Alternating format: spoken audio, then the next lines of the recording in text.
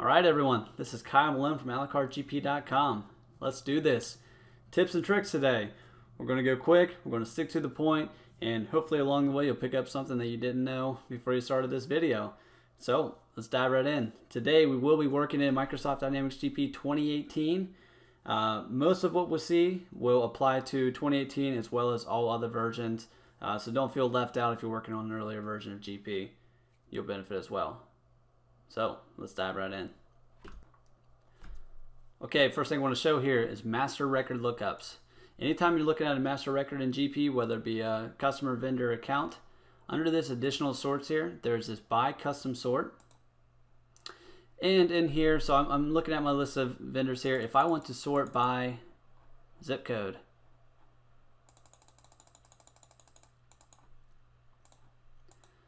I enter my option. I say I wanted to sort on descending. Click OK. And there we go. So simple, to the point. But again, it's by custom sort. This is available in all the master record lookups. And you have quite a few different options here to toggle around with. So if you always find yourself in a situation where you open up the master record lookup window, you're clicking through a different couple of different buttons to find what you're really looking for, take a look at this master record lookups custom sort option. So number one, done. Second thing here, user preference options. So back on my home tab, in the top left is user preferences. All right, so first thing in here is the display window. I have the ability to change the colors of my personal windows. So by default, I see a lot of blue link buttons, and then I see a lot of black required fields. If I want to change my links from blue to say green, hit apply, and you'll see that is now green. If I want to change my required fields from black, I could change them to red, make them pop a little more. So again, user preferences, display window, save, done. Also in here, if I am a person who likes to hit enter to tab through window to tab through fields instead of hitting tab, I can adjust that option here. And then also I have the ability to change my toolbar that's at the top of all my windows.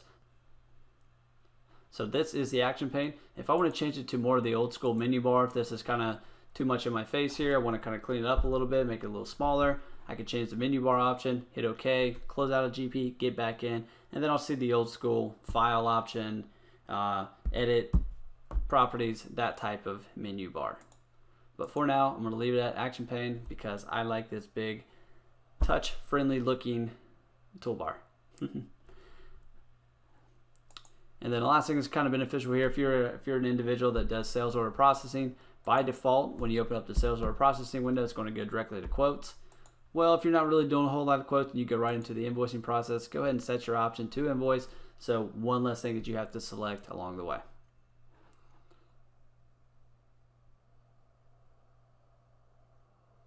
So that does it for this window. And again, that's user preferences underneath your home tab. Next thing I want to look at here is really the navigation panes in general. So over here on the left hand side, it's a navigation pane, and I believe a lot of people kind of forget that it's there. So one thing you can do with this is you can customize this. This can almost be another shortcut section that you always see when you're in GP. So if I right click over here, I click add, I can add particular windows here. So I'm going to click through here. Let's go down to GP, drop down the company, and then I just want to add my about Dynamics GP, add, done. So now it's over here on the left hand side. I always see it when I am in, my home page of GP. All right, so my next thing here is this startup window here. Right now it has nothing beneath it, but let me go ahead and right click it, select add, let's do add window, scroll down the GP once again, do financial, and then we'll do our account entry. Add, done. So now we see I have an option here underneath startup. So what that means is as soon as I open up GP, it's going to say what's in my startup windows and it's going to open up any of those windows automatically. So as soon as I open GP, if I know that the first thing I'm going to do when I get in there is process journal entries, I'm going to go ahead and add the journal entry window to my startup windows. Therefore, it's right in front of my face once I open up GP. So nifty little feature that I'm not sure gets taken advantage of as much as it should. So there you are. Navigation pane options there on the Home tab. Next thing I want to look at here is the ability to set up recurring batches basically anywhere in the system. So under transactions, if I open up batches, you'll see that if I look at one of my batches in here, there's this field right here that says frequency. I have it set to monthly. So what this does is any transactions that are in this batch, when I post this, all right, the posting process has completed. I open it back up. My monthly batch is still there. And then if I were to look at the transactions, since it was set to monthly, all of the transaction dates forward dated 30 days. So recurring batches, you can set them up in per payables, receivables, financial module, pretty much anywhere that you see batches.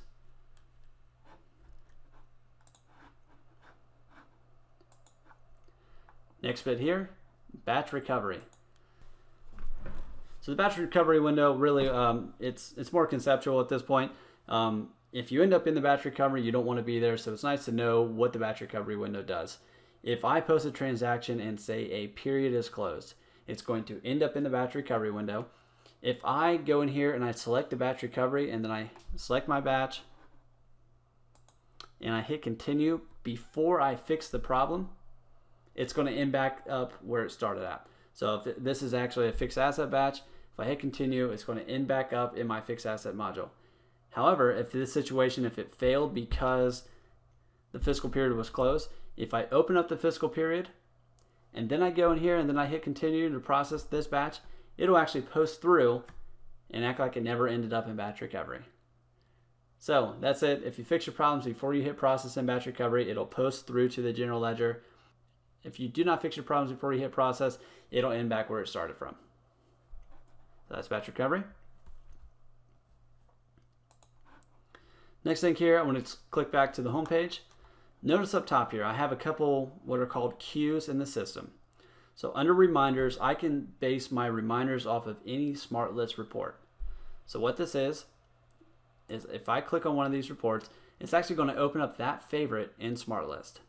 So this one happens to be any payable invoice that's past due. So how I do that is I select edit here underneath the to do section I go to reminders. All right, so I can go in here, I can select new, or I can select modify just to take a look at existing. And so basically what I'm doing is I'm actually going out and I would actually pick my smart list favorite, and then I would put in the criteria here. Anytime my smart list favorite returns, say a value greater than zero, display a cue. So this one happens to be customers that are over to the credit limit. So anytime that report is greater than zero, it returns any lines that are greater than zero, display as a cue. So what's that look like? This right here. And then again, when I click on it, it opens up the report in SmartList. So there you have it. Those are cues. And then just general navigation, we talked about this actually in our general navigation discussion. But anytime I'm in a window here, if I see a red link, blue link, whatever color I've set, click on it, that will allow you to drill back. So just remember that any link is a drill back. And some of these, if I start with a financial summary window, I select debit, let's drill back, let's drill back, let's drill back. I mean, you can drill back very, very far back into the system. So, just something to keep in mind. Anytime you see those links, click on them, drill back, get additional detail. Next one here, uh, let's talk about keyboard shortcuts. Generally, the more time you can spend with your hands on the keyboard, the more efficient you're going to be. Anytime you got to come off your keyboard, grab your mouse, and click around, you're really losing time, you're losing productivity. So, let's talk about a few of the big ones that are in here. Anytime that I'm in a lookup window, I can select the magnifying glass, Sure. Or I can hold Control and L to do the lookup. So that is any lookup in the system. Anytime you see that magnifying glass, select it, Control L, and voila. All right, on the flip side of that, I have this window open. If I want to close this window, I got to click X. Sure. if I want to close this window without clicking X, Control W closed. So again, that's any window in the system, Control W closed. Okay, and then the next bit here is, this one's pretty obvious, but if I select tab, I can tab through my fields. But what's not so obvious is if I hold shift and I hit tab, I can tab back. So tab, let's move forward. Shift, tab, let's move back. And then other generally known um, shortcuts is Control C, copy, Control V, paste. So that does work in GP, just keep that in mind. And the reason that's erasing one value when I paste it into the other is because you can't have one line with both a debit and a credit. So again, that's Control C and Control V. Copy and paste. All right, so moving on. And we're actually going to stay in this window. So let me go ahead and I'll select an account. Now, I am in my debit field. If I don't want to jump over to my credit line, watch this. Negative $10. Boom. Flips it over to the credit side. Negative $50. Boom. Flips it over to the debit side. So anytime you're entering distributions into the system, if you precede it with a zero, it'll, sorry, if you precede it with a negative sign, it'll flip it over to the other column. Okay, next bit here, we'll go ahead and we'll stay in this window, but it's macros. Macros. Macros are just like Excel macros, um, but macros, you can also use them in GP, and it's basically saving a set of steps so that that way the next time you want to run those set of steps, you don't have to click and key and do all this stuff again. You just basically hit the button to kick off the macro. So let's do something very fundamental here. So I'm in the journal entry window. All right, so let's set something up very fundamental here. I'm gonna go up and I'm gonna select Tools, macro record. Just go ahead and save your macro file wherever is accessible. Hit save. And now what I want this macro to do is just simply pick the account for me. And we can also say that we want this macro file to put in a amount. This is our macro example. And that's it. That's what we want our macro to do. So I'm going to stop record. And now, now that I have a macro file created, if I click to my home page, click anywhere, select add, select add macro. Again, we'll just call this our macro example. Browse.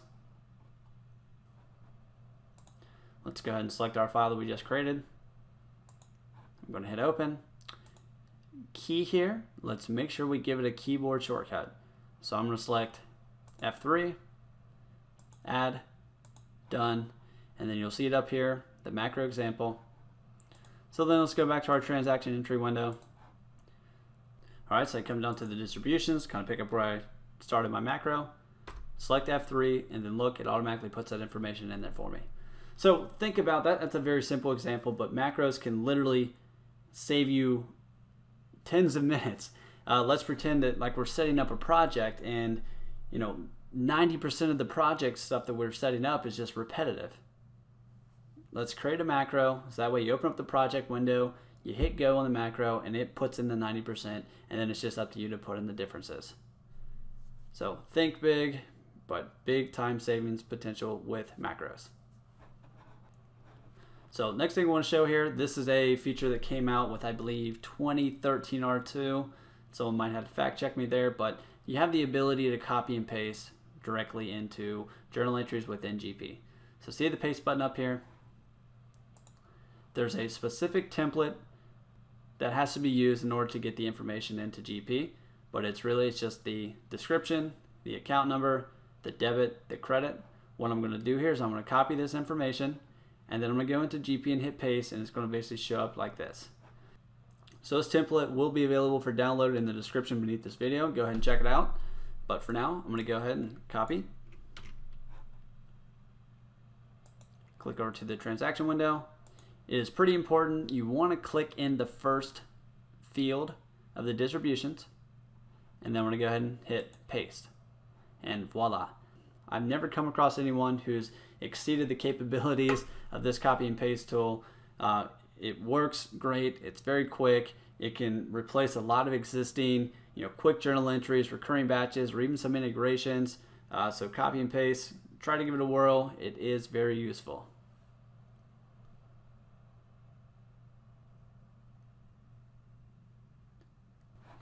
All right, and the last couple of things here.